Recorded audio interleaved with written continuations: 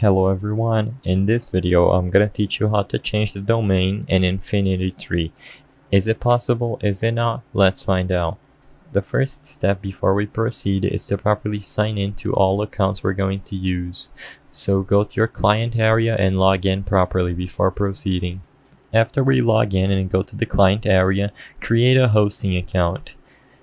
From there, select the subdomain option and then enter what subdomain you would like. Click for search domain and if it's available proceed by configuring your new subdomain. Afterwards, create the account and your subdomain will be created. Now, the reason why I told you to create a subdomain is because as of 2022, you cannot change your domain in InfinityFree. As soon as your account is created, you cannot change the main domain you have. A way to mitigate this is by creating subdomains that allow for you to change your new domain.